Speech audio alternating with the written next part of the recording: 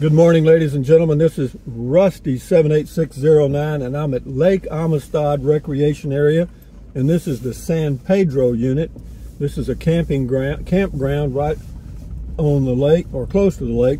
Well, what used to be the lake. The lake is very low, and it's uh, it's really inexpensive. I think it's like 350 a night, uh, but it's it's boondocking or it's dry camping because there's no hookups there, there may be water available. I can't remember. I've been here a couple of times a long time ago. But this is the entry road. It's not too bad. Uh, it can be a little rough, but we're going to go slow. I'm not in a hurry. I just want to, I want to see who's camping today. Why? Because the wind's out of the north. The temperature is 34 degrees and dropping. The wind's out of the north at about 25 miles an hour. And, and that's kind of what separates the men from the boys, so to speak, on this camping stuff. Because you get out here and the weather forecast they missed. You know, it was supposed to be in the 40s today, and uh, and and and of course it was supposed to be cloudy and, and maybe a little misty rain, but it's going to be freezing here in a little bit. It looks like they're going to have maybe some ice and stuff later today, and uh, but I'll be heading back for that. Yeah, it's the San Pedro unit, uh, Lake Amistad. You do have a good Verizon cell phone signal here, but uh, there's no, there, and, the sites are kind of improved. You know, they have a little little tables and stuff. I'll show you in just a minute. But I just want to see if there's anybody here that got caught. You know, because see the deal on a day like this, when you don't have, if you're here in a travel trailer and all you got is your propane heater, uh, you're going to use up all your propane in about two days here. No, it because you start running a propane heater in a motorhome or a, a, a travel trailer, fifth wheel, or whatever those things suck up the propane big time, man, big time. So we're going to go up here and we'll see. It's not much further. yes, the temperature is dry. When I got to uh, Del Rio earlier today, I went to Walmart. It was 39 degrees. Now it's 34, but the wind is blowing pretty good out of the north. Pretty good. And that's what gets you is the wind, man. It's the combination of the temperature and the wind.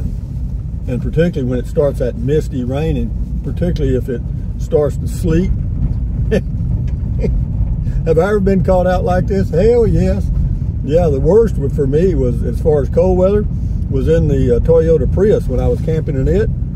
I was in Crestone, Colorado at a national forest campground and uh, elevation about 8,500 feet. It was in May and all of a sudden the temperature started dropping. The wind got out of the north. Next thing you know, it was snowing.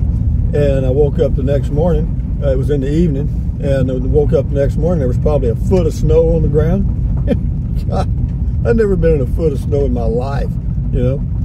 So anyway, we're, we're getting closer. I thought it was closer than this, but yeah, we, it, it, makes a loop. You know, we'll stay on this road here, go straight in, and then it makes a loop and comes back out. But yeah, again, this is Lake Amistad Recreation Area, San Pedro unit, okay? And it's just, it's unimproved camping. I don't, I'm not even sure they have water available here. I know there's no hookups of any kind. I say no hookups of any kind. I mean there's no sewer or water hookups. But it's cheap, 350 a day. Well, I think that's if you have the senior pass. Might be, it's six dollars, maybe it's three dollars for people with a senior or the yeah the federal senior pass you know, this you go in this way and then it loops around and comes back out. Uh, I see one fifth wheel over there. I see the bodies outside. Boy, these are days. But you know, if, if, if, if, if you're set up where you can keep your unit warm, these are really cozy days. You know what I mean? Snuggle up with a good old book and stuff. Yeah, it's great. If you're prepared. If you're not, you're going to be totally miserable, man. If you're in a tent, you're dead. Dead. I mean, no, it's, it's, uh, yeah, this is a toughie here today.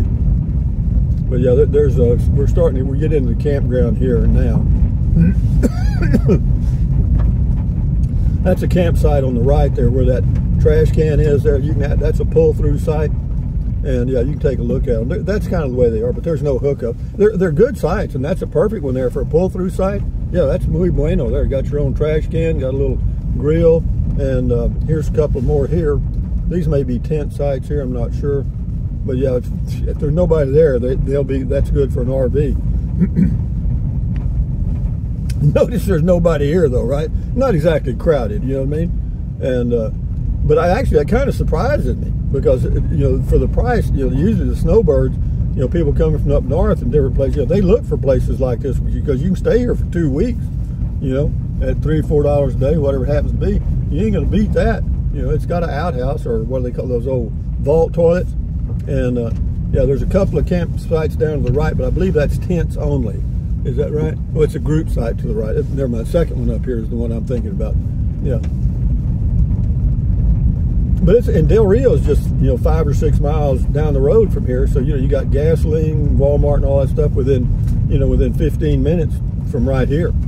So is that good? Hell yeah. I mean, if you're freezing, you can thaw out in the store. Yeah, there's some campsites to the right there, but it says tent camping only. Have I seen RVs in there? Yeah, I don't. yeah, I don't think they monitor that well. I mean, if there's nobody there, no tents or anything, you know, why not let somebody park there an RV? But there's a vault toilet there, and a good campsite is right past well, this pavilion here. Well, let me go down. I'll show you. Well, it's down here. It's the one I usually stay at. I'll show you. Yeah, there's a few people here, looks like. I'll count them in a minute. But I'll go down and I'll show you this good campsite. Give one of my tips here. And uh, yeah, again, San Pedro unit, Lake Amistad Recreation Area, Texas. Right near Del Rio, right on the Rio Grande, right on the Texas-Mexico border. Straight ahead is a campsite, okay? The best one in the whole place. It's a back end if you got a RV, but no, it's private right here. I mean, and uh, yeah, it's pretty good site right here. Got a nice view, and uh, yeah, when it's not, uh, well, right now it shows to be 34 still, so it's holding at 34. But the wind's blowing right out of the north. You'd be inside right now, I guarantee you. So we'll kind of make the loop here, and I'll end this video, you know. But uh, yeah, I just wanted to show you this. So it looks like Got a got a guy here in the fifth wheel in a red truck. I'll turn so you can see him. But you know he's definitely running his his heater right now. Okay. I mean I guarantee you. Hope he had. I hope he had full tanks of propane because if he didn't, he's gonna regret it. How long will a 10, uh, 20 pound tank last? not very long. You might be able to get three or four days out of one if you're running it. If you're running your furnace uh, 24 hours a day. He's got solar for electrical, but he ain't gonna run any heat off that. So we got one there, and then two, three. We got three campers in here, and usually at this time of the year, this place is pretty busy. And it ain't well. they all know, they get caught. See, this the weather forecast is wrong, man. That's all I can tell you. You know, that's a good old double axle fifth wheel there. Big old good and got three air conditioners on the top. And uh, he, he, doesn't need the AC. He needs some heat. And this old boy is from Texas. Got him a dually to pull that thing with. $100,000 truck pulling a $100,000 RV. Here's another one. Uh, travel trailer. He's from Texas. These guys may be working around here because there's a lot of stuff going on because of the border issues and you got a lot of building and stuff going on. In fact, I think they're remodeling a hotel for the Department of Public Safety personnel to live in while they're doing their two-week shifts down here. And uh, yeah, it's a.